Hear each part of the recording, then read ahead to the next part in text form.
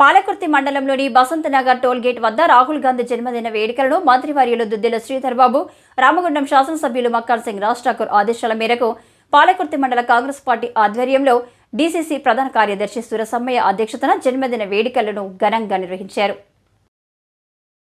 ఈ సందర్భంగా cake cut చేసి ఘనంగా జన్మదిన శుభాకాంక్షలను తెలిపారు. ఈ సందర్భంగా సురసమ్మయ్య మాట్లాడుతూ ఇందిరమ్మ ఆశయాల సాధకుడు రాజీవ్ సోనియాల ఆశయాల వారసుడు దేశ రాజకీయాలను శాసించే నాయకుడు అని.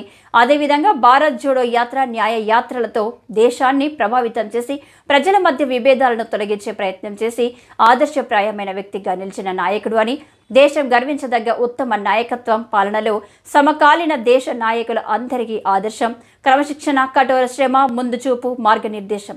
అన్నింటిని మించి మానవత్వానికి నిజాయితీకి నిలువెత్తు రూపం రాహుల్ గాంధీ అని చెప్పారు.